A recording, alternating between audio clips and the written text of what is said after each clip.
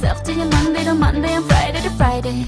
Not getting enough retribution or decent incentives to keep me at it. I'm starting to feel just a little abused like a coffee machine in an office. Uh, so I'm gonna go somewhere cozy to get me a lover and tell you about it.